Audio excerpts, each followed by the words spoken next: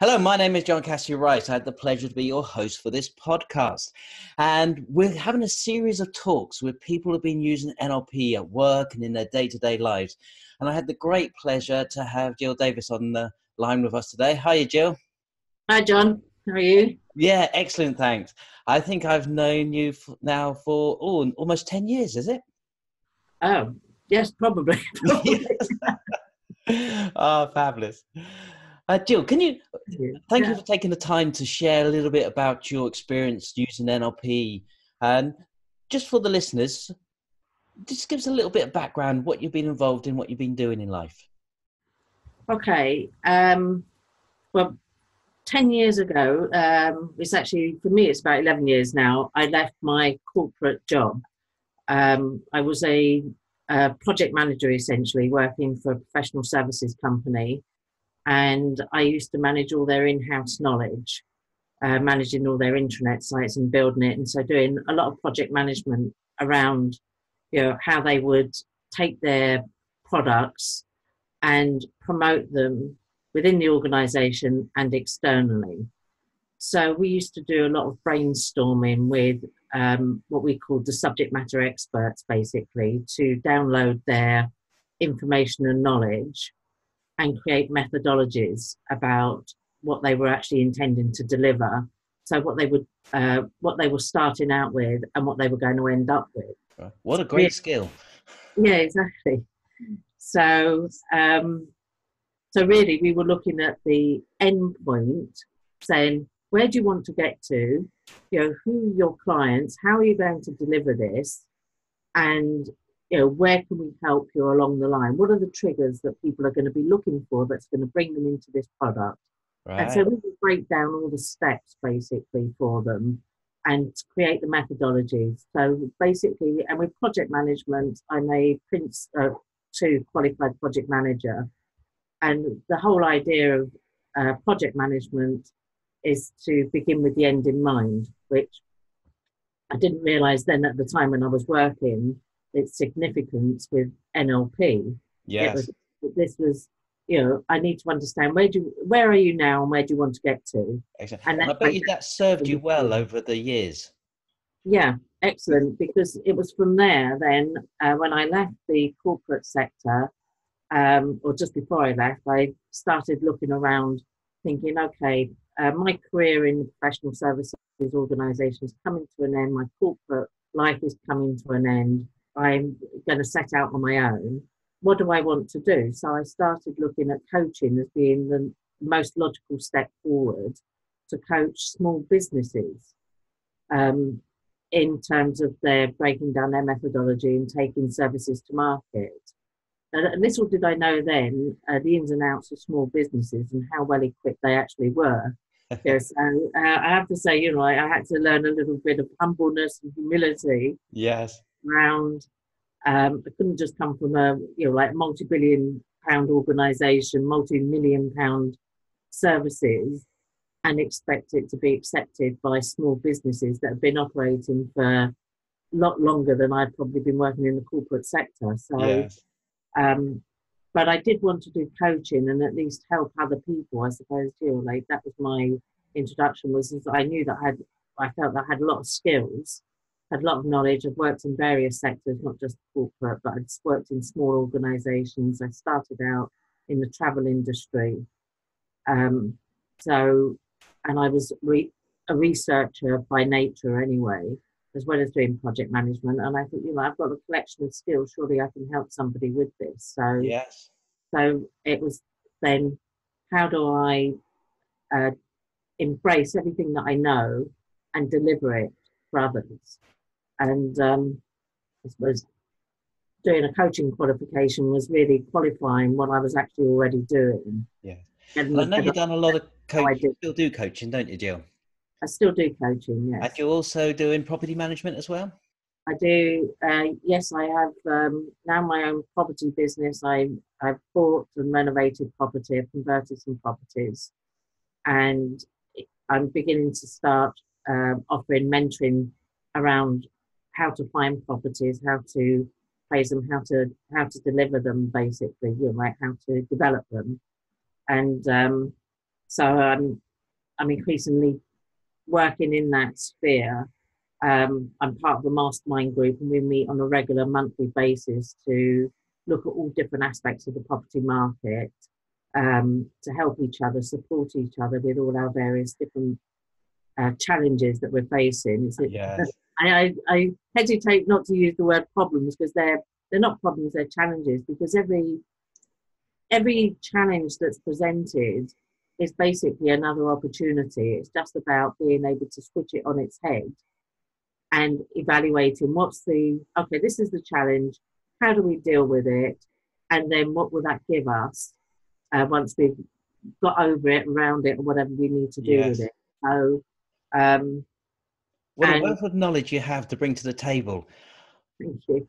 Excellent. So, so I'm interested. How did you get involved with the NLP? So, what attracted you to NLP? Right. Well, when I uh, did my quote, uh, coaching qualification, and um, it was a distance learning, so they would mention NLP in the coaching, and then tell me that it was very different.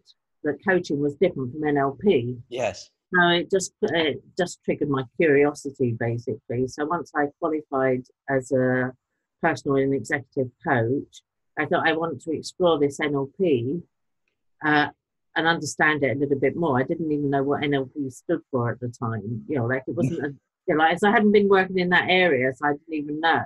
Yes. curious as to okay, I'm told some of the coaching that I did was using some NLP terminology or some questions, but without actually telling me what it was or right. how it worked. So it was really, I, I felt that the coaching just as a standalone was good, useful skills to have. But if I wanted to be able to deliver a better um, package, I needed to understand what NLP was. That so makes a lot of sense. How I got involved with it, and that's how I met you. Excellent, yes. And, and it's the, the amount of coaches that I've spoken to that have said once they've added the NLP in, it really does make a difference. It gives them a lot more flexibility and a way to de- work with people. Yeah, because the um, I found to begin with, to be honest, I found NLP quite challenging because it teaches you what you already know. Yes. Um, but gives you greater awareness of what you know and then how to do it. So you have this awareness of okay, what I'm saying is maybe it's an NLP way of saying something. Um, but I've always done this, but now I've got this added um, quality to it to tell me, you know, the context in which it's being said, if that makes sense. Yes. Have you got any um, examples of that in action? Maybe when you coach somebody or you've worked. I suppose it was like, you know, if you're asking questions, um, you know, I learned wisdom accessing questions. So if you ask somebody like a what question or a how question, you're automatically kicking in their unconscious uh, part of their their brain. And even if you ask it of yourself, you're kicking in your unconscious part of the brain. And it will automatically start looking for answers. Now, those answers may not come up straight away, but the unconscious will continue working in the background, even when you're not thinking of it. That's why, you know, like when you think sometimes, oh, you know, you're thinking of a movie star saying uh, a movie, but you can't, you can see their face, but you can't remember who it was. So you ask yourself, well, what movie was it in? What movie was it in? And then you'll carry on doing something, and suddenly, in the middle of doing, I don't know, like the washing up, many hours later, the name of that person, yeah. you know, like George Clooney or whoever it may be, will suddenly spring to your mind because you know your unconscious is conscious is constantly working on your behalf. yeah So it's that awareness about how we actually process information.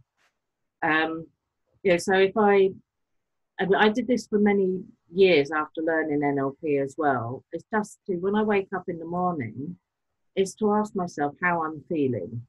And then looking at how I make decisions in the morning to get dressed.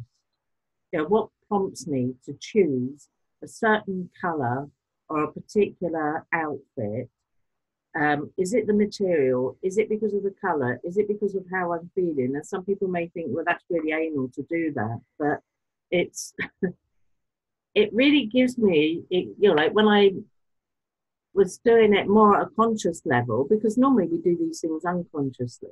Yes. So what NLP taught me was how to be consciously aware of the unconscious, if you see, our Yeah. unconscious decision making process. Because this was what Richard Bandler um, used to say is why do we do the things that we do? Um, I can't think of the name of his book offhand, but um, it's a very famous one. I'm sure you know it. But um, Using your brain for a change.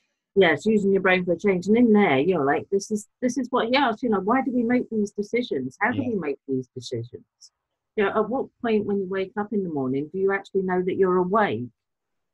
And that's like, yeah, because we just wake up and we either feel good or we feel bad, and we get out of bed and carry on the day. Yeah. But at what point did you realise that you were actually awake? Yeah. Well, so I think there's two things going on there. Though one is which I don't want to lose is that the NLP brought an awareness to the coaching that the uh, we're not just coaching the conscious mind; the unconscious mind is involved in there, and questions are very powerful and they trigger a long-lasting process. Then within that, you built this self-awareness where you started to grow this routine you had in the morning, where you become aware of when you're waking up and the decisions you are making, which are all coming from your unconscious mind, could impact on the day ahead. And you consciously started to sort of think about, so what results would I like today? And how does this color that I'm wearing or this action I'm taking affect that? Would that be correct? Yeah, this it's that. Yeah, exactly. You know, like this is you know, like what's the outcome? And there was when I I did the master NLP with you, Yes. and so I did that whole project um, about modeling other people. And um, one of the people I interviewed, uh, you just reminded me actually, because he was a very senior chief, chief executive for, at the time, NatWest Bank. I'm allowed to say it because he's not no longer there. He's Okay. bigger and greater things, I believe. Um, in fact, actually, I think he got an MBE recently. I saw, but um, you know, like one of the things like he used to, he, he said to me when I was interviewing him was um, about how he would program his day from the night before. So, so he would say, you know, like, how do you determine what sort of day you're going to have tomorrow? He'd say because I've already pre-planned it. Yes. And many of the people I interviewed for that modelling project said similar things in more or less the same same thing as the whether or not they were planning for the following day.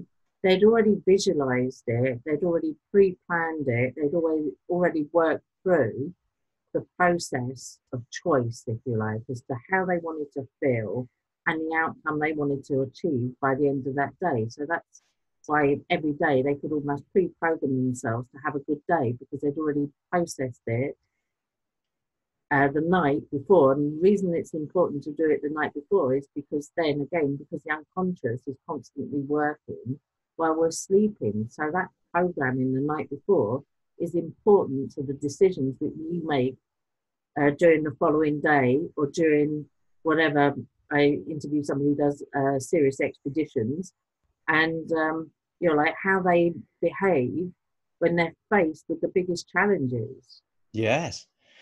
Now you mentioned the master practitioner. You're talking about the modeling project there, and it's a great thing to go through, but it's a huge amount of work, isn't it?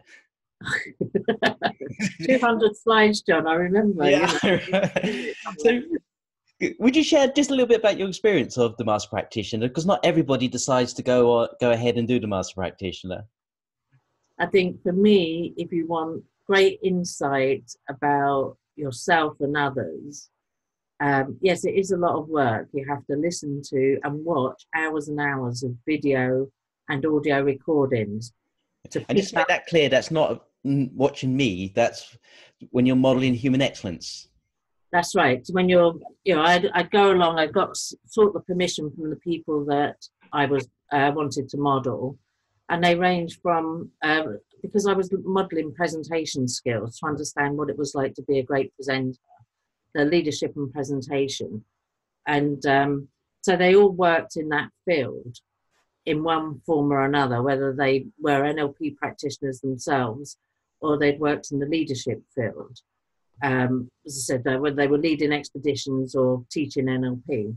So that was, so I set certain criteria that I wanted to achieve, which I shared with them beforehand.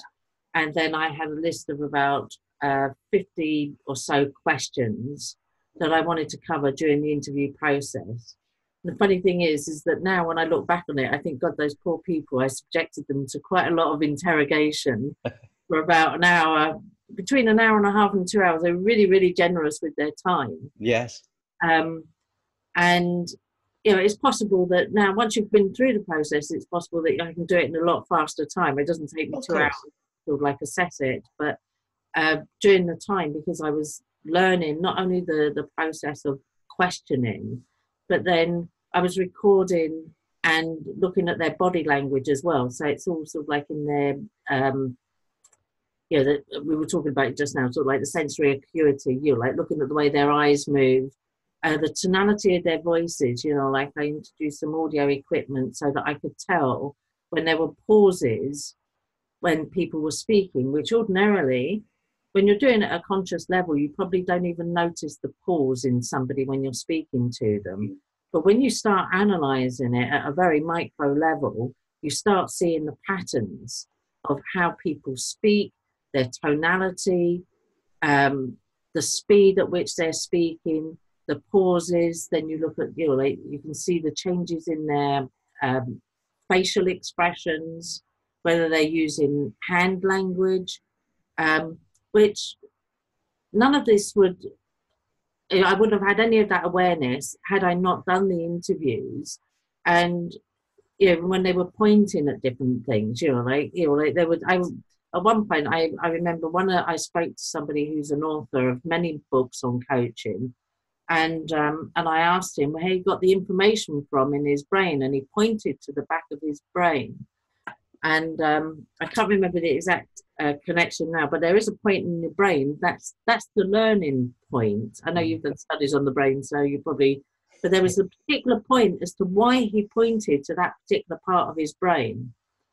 And um, had I not done the interview, you know, and looked at the the video in such detail, I would never, I might not have picked that up. Yeah. But you- like, You basically learn to read the unconscious mind. Yeah, exactly. So you look at the way in which people point to the parts of their brain um, that mean something to them. You know, they're pointing here. You know, as I I said, I can't remember the terms now, but you know, the prefrontal cortex or whatever. yep. will will mean something. It has a meaning. To point to the back, it has a meaning. It's to do with language and Yeah. learning. You know, so and people in, intuitively do it um, and speak.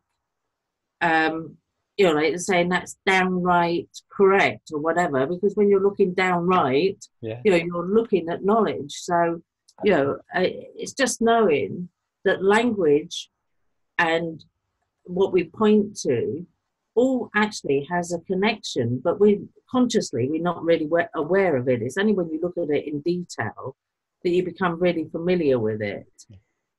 Yeah, and I think uh, from tell me if I'm wrong, but I think what happened then is you learned all these skills on the practitioner, which were great, and then when you got to the master practitioner, you really had to own them to be able to do the modeling project. yeah, you have to put them into practice and then you actually understand in a much more detailed um, way. You know, like you really understand the significance of it. You understand, you know, like, um, how the language is actually codified, what it actually means, and then you can break it down. I mean, I'm, I, I'm quite a detailed person anyway, so obviously I went into a lot of detail, probably more so than a lot of people.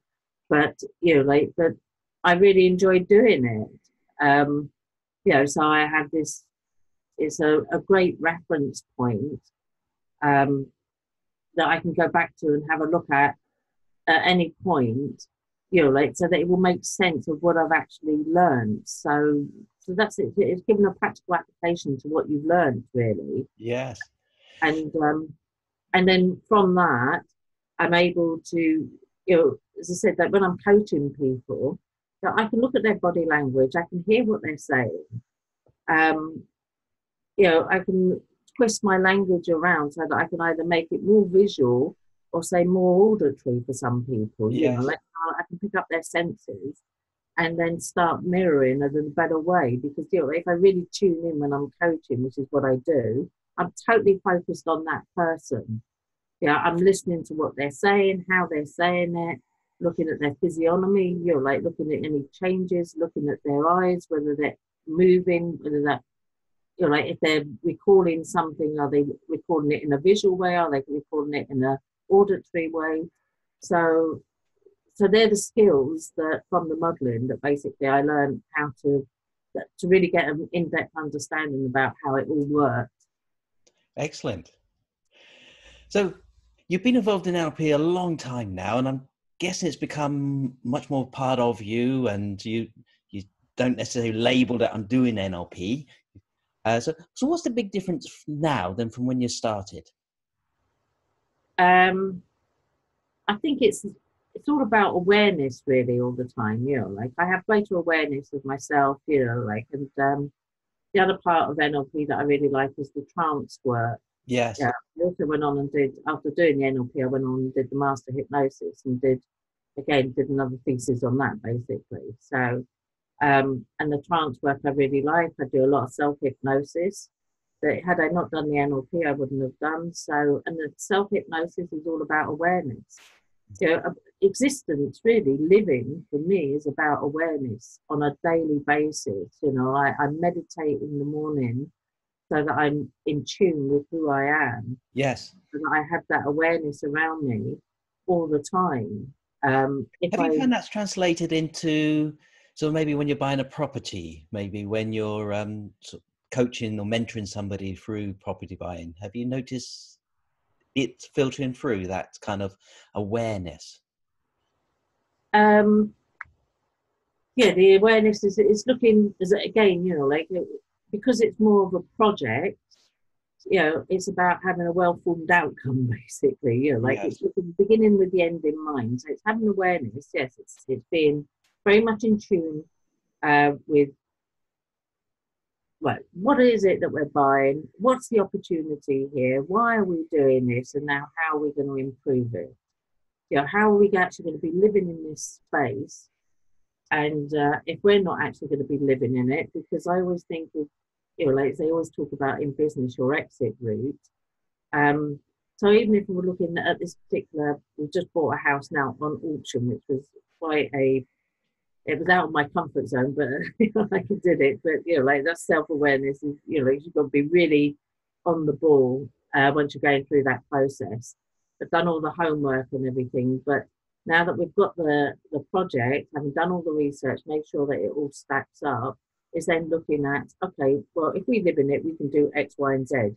That's great, but at some point, if we're going to be selling it, how are we going to ensure that this is a sellable project? Yeah, because at the end of the day, this is it's it's income generation. It's a home, but it has an exit to it that's going to be passed on to somebody else. So it's having that awareness about how you use the space.